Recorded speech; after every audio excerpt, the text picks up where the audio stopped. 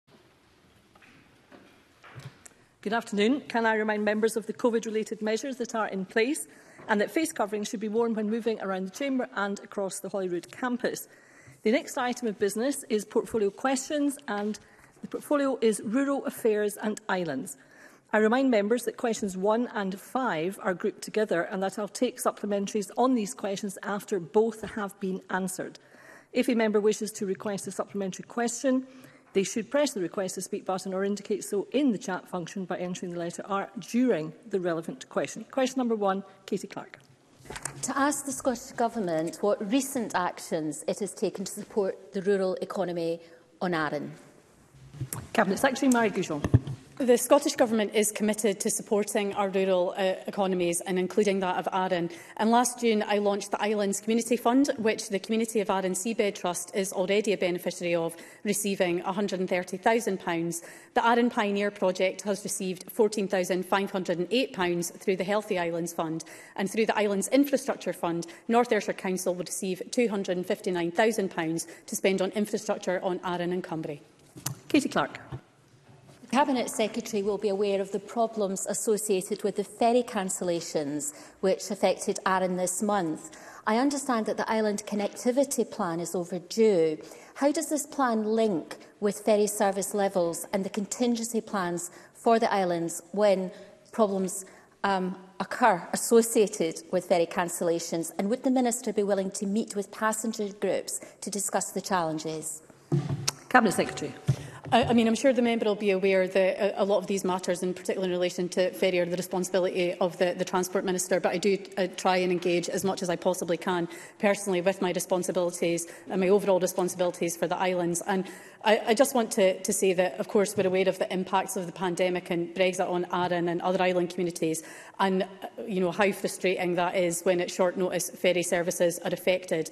And I think we can't lose sight of the fact that, you know, or lose sight of why these services are lifeline ones, because obviously children need them to get to school, residents need them to access services on the mainland, public services and local businesses need them to be able to get their workers back and forth. And, and I would just want to use this opportunity to emphasize that we need everyone to consider carefully the current advice, which is to stay at home as much as possible, and whether their ferry trip is essential. Because every time someone takes the virus on board a ferry, it puts the health of crews at risk, which then puts the service at risk, and that has wider, significant wider impacts. Uh, some of which we've seen recently. And we all need to work together in the short term to minimise the impact of the, the variant and try and sustain these lifeline services for island communities. Uh, touching on the point that the member raised as well about the island's connectivity plan, I'd be happy to get back to the member with further detail on that. But that is due to commence and, uh, and publish this year.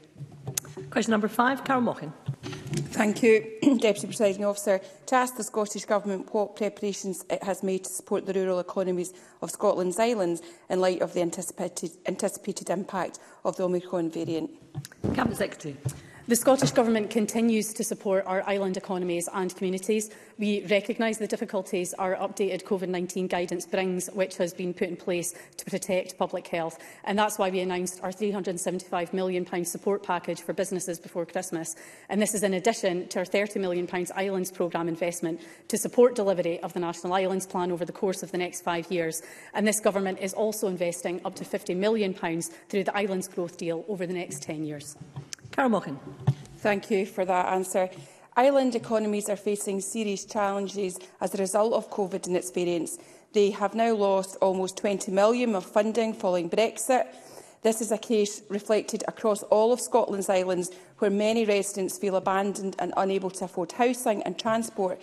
Can the Minister outline if the currently outdated assessment of the needs of islanders and the industries connected to island tourism will be reviewed over the now worsening impact of the uh, COVID Cabinet Secretary. I, I completely understand the issues that the members identified there, whether that's in relation to the COVID-19 impacts, the impacts of Brexit, which the, which the member highlighted too. And you, you also, housing was also touched on there, and we recognise the issues that there are with housing. That is a, a critical issue that I repeatedly hear about when I'm engaging with uh, different stakeholders and with different communities too. Um, but I would say that we do have the, the Rural and Islands Housing Action Plan plan, which will be getting developed, which hopefully will uh, alleviate uh, some of the issues that are being experienced. But of course, these aren't individual. Uh, we can't just look at each of these in a silo. There are a, a number of different issues here which we're looking to address, whether that's in connectivity with the £588 million investment for fer ferry services over the next five years, as well as the investment through the, the Islands programme that we hope will together have an impact and a positive impact for our island communities. take some supplementaries. first from uh, Alistair Allen, who's joining us remotely. Clearly, uh, delivering or supporting business as usual has a key role to play in supporting island economies and communities. So what is the Scottish Government doing to ensure that planned funding is being delivered timely? Cabinet Secretary.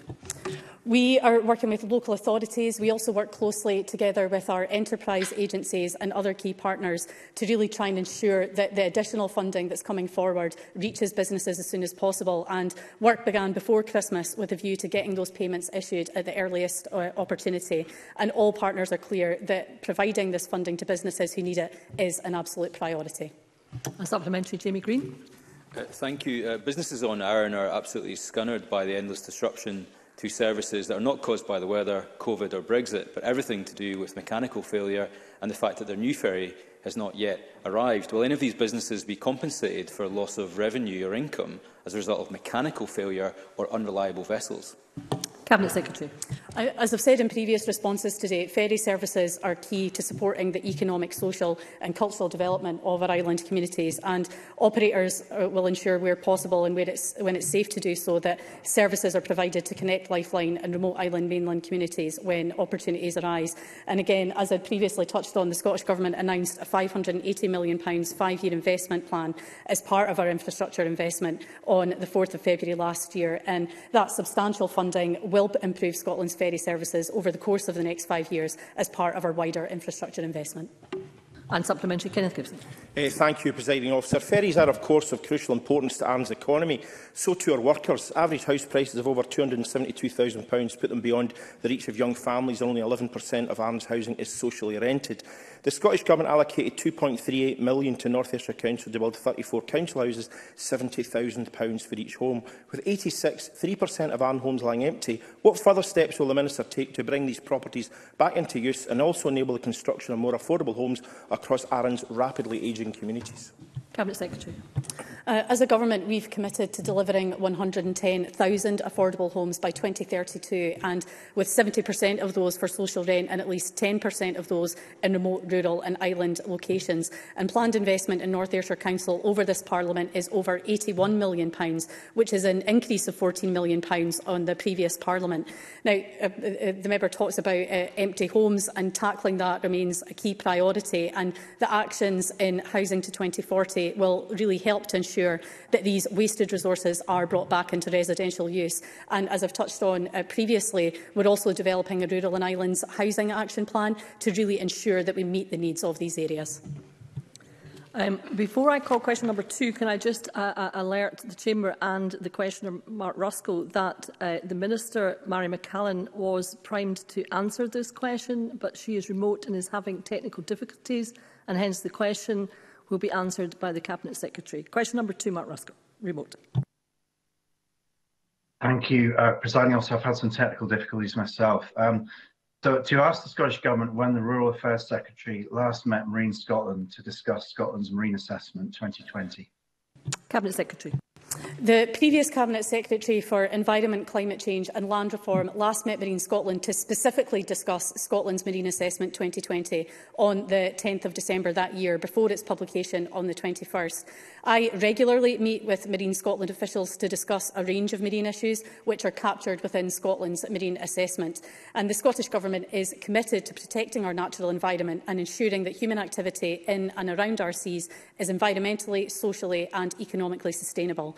The measures in support of marine environmental protection enshrined in the Butte House Agreement clearly demonstrate that commitment. Mark Ruskin.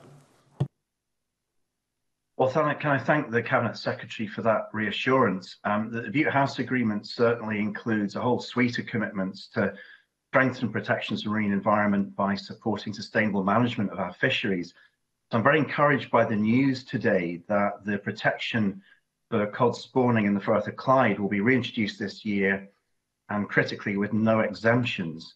Um, can the Cabinet Secretary comment then on the objectives behind this action and the benefits that it aims to deliver? Cabinet Secretary.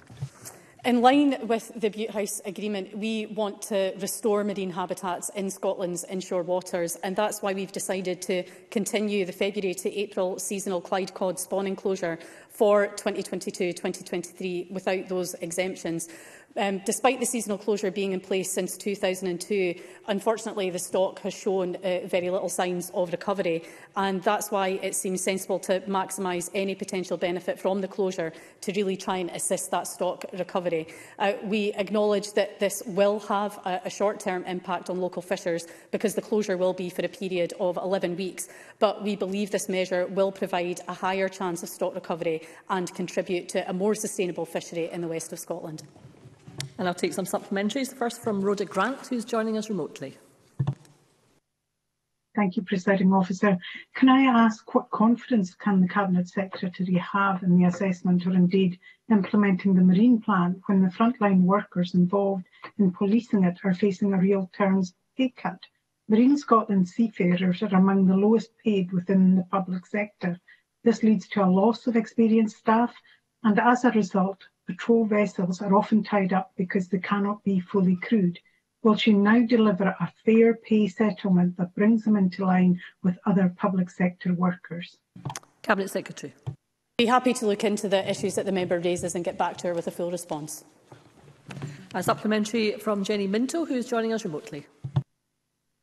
Thank you, Presiding Officer. To ask the Cabinet Secretary what is the Scottish Government doing to tackle the persistent problem of marine litter, which has such an impact on water and environmental quality, but crucially can also cause real harm to marine wildlife?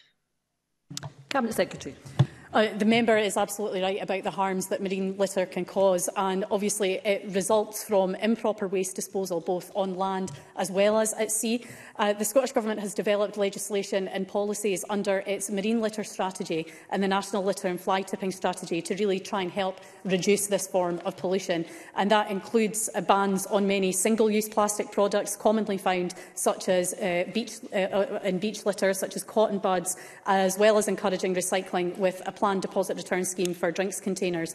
Now, both of these strat strategies have recently been reviewed and refreshed versions with new actions are currently open to public consultation. And that consultation is open until the 22nd of March this year and, as, and the 31st of March, respectively. So I would urge and encourage people to take part in that consultation and make sure that their views are known. A supplementary, Willie Rennie. The fishing fleet in Pitt and Weem and other harbours in Fife feel they are being squeezed out by the increasing number of offshore wind farms in the Forth. Can the Cabinet Secretary guarantee that further applications for such wind farms will consider the cumulative impact on this important industry? Cabinet Secretary. I, I thank the member for raising this, this really important point and having met with some of the, the fishers who are impacted by this and having met with the member uh, uh, directly to discuss this, I completely appreciate the concerns that, the, that fishers have with, in relation to that. So as a result of the, the meeting that I had with the member, there are a number of actions that we're taking away to look at in relation to that, because as Fisheries Minister, that's my responsibility to engage and to ensure that concerns that are raised by our fishers are taken into account when some of these decisions are taken. Question number three, Colin Smith. Thank you, President Officer. To ask the Scottish Government how the fishing quotas secured during the trilateral negotiations will be distributed to fishing businesses to incentivise more sustainable practices. Cabinet Secretary. I'm pleased that we have concluded the trilateral negotiations between the UK, EU and Norway for 2022, securing an estimated benefit to Scotland of £97 million. Now, the Scottish Government has made efforts to allocate quota to incentivise more sustainable practices. So, for example, in recent years, we've allocated a greater share of available mackerel quota to our inshore vessels to be caught by handline. And in 2021 alone, this mackerel fishing opportunity was utilised by over 300 inshore vessels where we estimate they, they landed over 1,300 tonnes worth around £1.6 million. And in 2022, we'll continue to allocate quota to our inshore vessels to allow for increased diversification opportunities and fishing methods associated with a lower environmental impact. Colin Smith. Thank you, President Officer. The negotiations showed that we're still way off the mark when it comes to sustainability. The Government's own agreed records of the negotiations, for example, showed 47% of place, 30% of haddock caught in 2021 was discarded. Now, Section 25 of the Fisheries Act specifically requires ministers to incentivise the use of selective fishing gear and fishing techniques that have reduced impact on the environment when distributing quota. But as the Cabinet Secretary set out, it still does not go far enough as far as the government's own measures. So will the Cabinet Secretary ensure there are changes made to the way quota is distributed when the government sets out its new futures catching policy to make sure that sustainability is given a far higher priority? Cabinet Secretary. I, I just want to clarify that the Scottish Government does allocate fishing quota in line with the UK Fisheries Act 2020. And when it came to the allocation of quota this year and in 2021, we sought to widen that socio-economic benefit and the reduced environmental impact by allocating that quota to methods of fishing which are associated with a reduced environmental uh, impact, uh, as I outlined in my initial answer. Um, and the way that we allocate additional quota, um, that's, that is the changes to the UK's quota share as a a, result of Brexit is really is to be the subject of a Scottish Government consultation this year, which will take effect in subsequent years. A supplementary, Karen Adam. Thank you, President Officer. Can I ask the Cabinet Secretary how the Scottish Government is supporting new entrants into fishing and ensuring that development in aquaculture is also sustainable? Cabinet Secretary. The Scottish Government is supporting new entrants into the fishing industry through the Marine Fund Scotland and the Future of Fisheries Management Strategy. Now, the Marine Fund Scotland can assist young fishers to purchase their first fishing boat or to have a share in a fishing boat, and it promotes greater diversity in the industry and training through the industry body Seafish. And it also supports aquaculture with projects to ensure a sustainable future,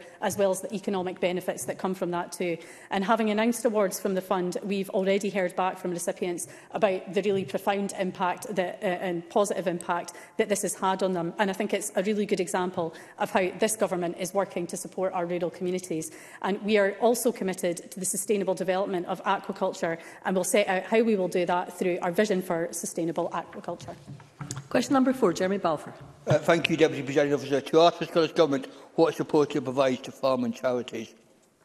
Cabinet Secretary. In the last financial year, 2021 to 22, the Scottish Government has provided £1,263,800 in funding from the rural budget to a range of farming charities in Scotland. And these include providing funding to the Royal Highland and Agricultural Society of Scotland and the Royal Highland Education Trust, including for food education, to GrowBiz, to support learning and training, and also to the National Rural Mental Health Forum and Support in Mind Scotland to support mental health and well-being. We also provide provide funding to RSABI to help it operate a helpline for seasonal agricultural workers, as well as support for young people and women in agriculture.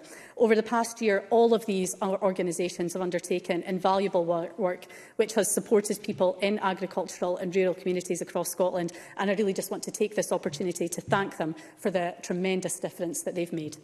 Jeremy Balfour.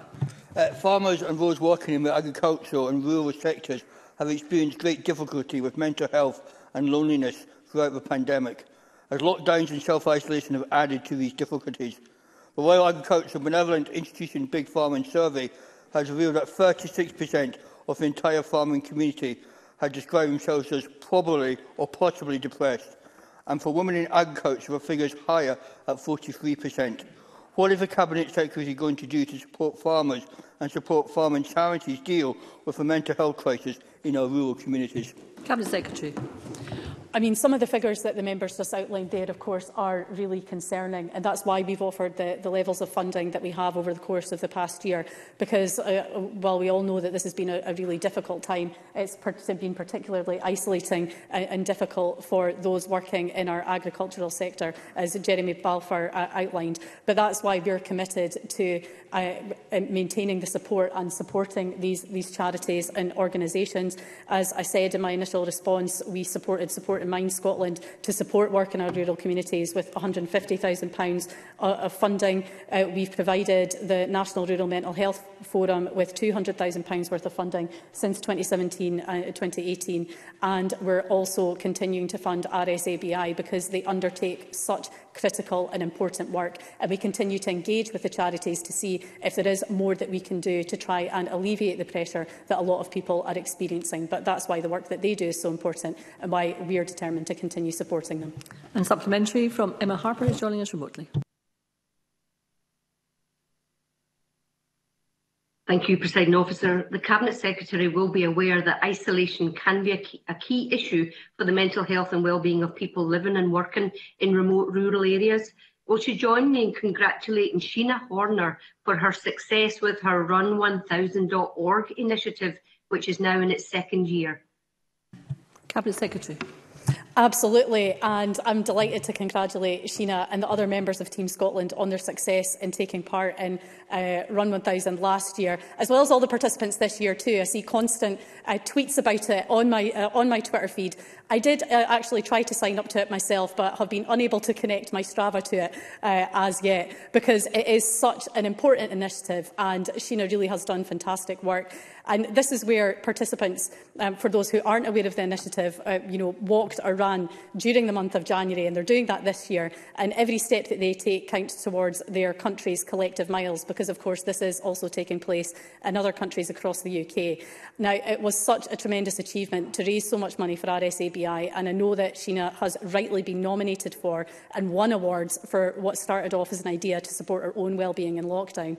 And I know that um, the member will be aware that Run 1000, uh, as I've stated, is back for a second year this year, uh, and participants are taking part in this mental health fundraiser again when the initiative will return for Battle of the Nations across the UK. And for the first time, New Zealand is joining in that as well. So I really just want to take that opportunity again to, to highlight the amazing work that Sheena Horner has done and and to congratulate her for that. Thank you. Uh, and could I uh, uh make a plea for uh, succinct questions and answers? Uh, and if that happens, we will be able to get everybody else in. Question number six, Emma Roddick, who's joining us remotely. The Scottish Government, how it is progressing plans for carbon neutral islands. Cabinet Secretary. We recently announced our intention to support six rather than three Scottish islands through the Carbon Neutral Islands project and work is underway to consider the selection process for that. And our intention is to start work with the selected islands and their communities this year as outlined in the programme for government. Emma Roddick. In September of last year, a report by the Scottish Affairs Select Committee concluded that locational transmission charges weigh more heavily on developers in Scotland when projects in other parts of the UK, like Wales, are paid to connect to the grid. Does the Cabinet Secretary share my concern that this unjust situation will hamper the progress of renewable energy development in Scotland's island communities? Cabinet Secretary. I, I do share the member's concerns because Scotland's islands have been leaders in renewable energy development and innovation and that's why we're determined to harness that potential and really build on that success to meet Scotland's 2045 net zero ambitions. Now, the higher transmission network use of system charges remains a key barrier to net zero in Scotland Uh, Ofgem's own analysis shows that by 2040, Scottish renewable and low-carbon generators will be the only ones paying a wider transmission network charge, with all others, including gas generators elsewhere in, uh, in GB, being paid credits. And in our response to Ofgem's recent call for evidence on the transmission network use of system charges, we've made clear that a new approach is needed rather than the small modifications to existing methodologies uh, of Ofgem's charging reviews and decision-making. Uh, should really take fully into account the effects on renewables projects costs and ensure that these don't present barriers to investment and progress in Scotland. A supplementary, Rachel Hamilton, who's joining us remotely. Thank you, Presiding Officer. Uh, this SNP government is failing to deliver carbon neutral islands with a cut to Agricultural Transformation Fund by 20 million for crofters, peatland restoration targets not achieved, and a falling proportion of low emission ferries not delivered. Cabinet Secretary, with net zero targets to meet, why is your government failing to deliver carbon neutral for islanders and crofters? Cabinet Secretary. I completely disagree with the assertions made by the members there and the fact that this initiative can't have failed because it's yet to even begin and the work is ongoing to deliver that. Thank you. I, uh, I now call question number seven, Gillian Martin, who's joining us remotely.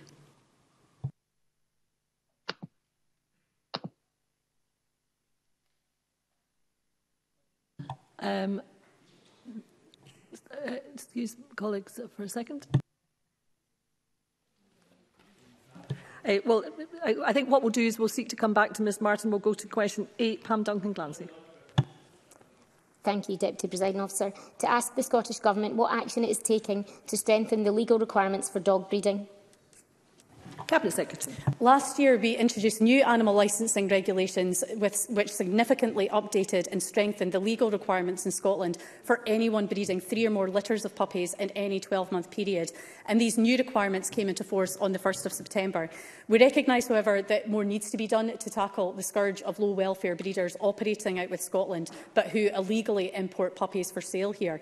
Now, earlier this week, the Parliament gave its consent for certain provisions of the Kept Animals Bill to apply in Scotland, And that bill provides Scottish ministers with regulation-making powers to prohibit the importation of dogs under six months old and late-stage pregnant dams. And the introduction of these measures has the potential to impact significantly on the activities of those importing illegally bred puppies. And we'll seek to bring forward new legislation using the powers set out in the bill at the earliest opportunity. Pam Duncan Clancy. I thank the Minister for the answer.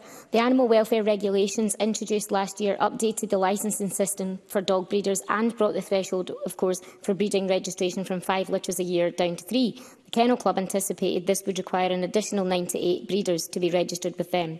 Dogs Trust have also said that this threshold must be reduced even further to include anyone breeding a litter, and additional regulations such as mandatory inclusion of breeder registration and licensing numbers must be introduced to ensure we can effectively tackle unscrupulous breeders and dealers, especially as more families work from home and are taking on puppies and prices are soaring. Does the Scottish Government intend to publish any evaluation or analysis of the impact of the 2021 animal welfare regulations, and does it have any plans to revisit the provisions within them? Cabinet Secretary. I, I, just want to assure the member that we're in regular contact with all of our key stakeholders and some of whom you've mentioned there, such as the Kennel Club and the Dogs Trust, who I met with uh, just towards the, the end of last year. First of all, to hear their thoughts on the new regulations, but of course they have just been introduced, so we will continue to monitor that closely. This is a problem that we're serious about tackling um, because it is such a massive problem which has only uh, been encouraged through the, the, and gotten worse uh, through, over the course of the pandemic. So we are committed to taking action where that's necessary to try and tackle this. And I can get a few supplementaries in if we really do have succinct questions and answers. The first from Maurice Golden, who's joining us remotely. Thank you, Deputy Presiding Officer. Unfortunately, it is the case that particular breeds are often targeted by thieves, with breeders and sellers having to take extra precautions. Does the Cabinet Secretary recognise the need to strengthen both deterrence and protections for breeders to help stamp out this practice? Cabinet Secretary. Absolutely. Again, we continue to uh, engage with all the, our relevant stakeholders in relation to looking at you know, what more we can do to try and tackle some of the problems that we're seeing. But I do think that some of the measures that I've, uh, that some of the powers that we've received through the Kept Animals Bill and the LCM that was passed this week will go a long way to tackling some of these issues, um, as well as the regulations that we introduced last year. But as I say, this is a situation that we continue to monitor to see what else we can do to try and tackle some of these issues. And briefly, a supplementary from Colette Stevenson.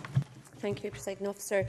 I'm aware that the Cabinet Secretary was involved in the Buy a Puppy Safely campaign, which sought to provide the public with information on how to identify puppies bred from farms and what to do in those circumstances. Can the Cabinet Secretary outline what to look for when buying a puppy and how to avoid buying from puppy farms? Briefly, Cabinet Secretary. Of course, there are a number of key safeguards and things that people can do to really guard against that. And ideally, I'd advise anyone who's looking to buy a puppy uh, to avoid buying them through online ad sites and instead look out established reputable breeders and to be prepared to actually wait to receive a puppy as well because reputable breeders have waiting lists for a reason and I would also advise never to buy a puppy from a breeder who doesn't let you see the pup with its mother and always try and get the puppy's paperwork um, and that should include the vaccination and microchip records uh, when you collect the puppy, because if there isn't any paperwork, then it's very likely that you are buying an illegally bred puppy. If you have any concerns, I would advise buyers to walk away and to get in touch with the Scottish SPCA to look into any concerns.